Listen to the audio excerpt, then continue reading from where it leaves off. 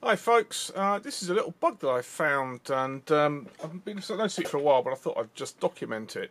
Um, you'll notice here I've got a scope showing a square wave. Uh, this is uh, a DSO 7104B uh, from Keysight stroke Agilent. Uh, this is actually uh, they, they, stopped. Um, they discontinued model. They discontinued it in June of 2016, and I'm just. But it's still a pretty darn good scope. One gigahertz uh, bandwidth, four gigasamples per second, and uh, so I'm just going to uh, show you a little little bug that I have here. The square wave is um, coming out of an FPGA, which I've just been playing with, and this is my little breadboard setup here, and um, I'm just uh, probing it. No special probing precautions to show you this, but um, the important thing to note is um, when I uh, increase uh, increase the speed of the uh, tray, so um, reduce the, the timebase speed, uh, everything seems to go okay. So there we go, down at 500 picoseconds per division, all good.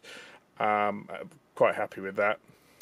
Now, uh, again, this isn't about probing, you'll, you'll see in a moment. If I now press the zoom trigger, so I can then uh, zoom in on that uh, without having to so I can see the original trace of the square wave and then I can just zoom in on a certain part.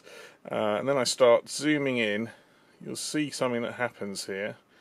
It suddenly goes from in fact it's it's strange. It's gone from 2 micros ooh, 5 mic 2 microseconds per division and then suddenly it goes to 500 picoseconds per division so that's not quite what I was hoping for. Um, so, and in fact, when it goes back from the 500 picosecond, you go back, it goes back to 5 microseconds per division. Now, interestingly, um, if I show you again, if instead what I do is I uh, uh, use the, the fine uh, option, oops, I've got the wrong way, haven't I? There you go, that's it. I can actually zoom in into those hundreds of nanoseconds because it takes a bit longer and so interesting little feature there. Now you'll also notice that if I um, I'm going to switch the zoom off now and instead of it doing one oops of let's say 500 microseconds per division and zoom in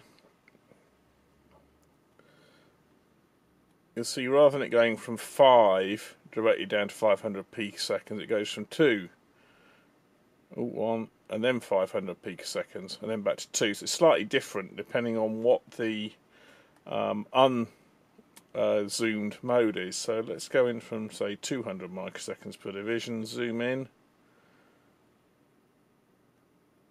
Yeah, it seems it, it's strange. It, it jumps. So this on this one, it, it jumps from 200 nanoseconds 100 nanoseconds, and then straight to 500 picoseconds. So there you go. Interesting little uh, little bug there for you. And uh, just to add here, this is the uh, the firmware version. Just here, this is uh, 6.20.0, which uh, according to the website is, is the latest version.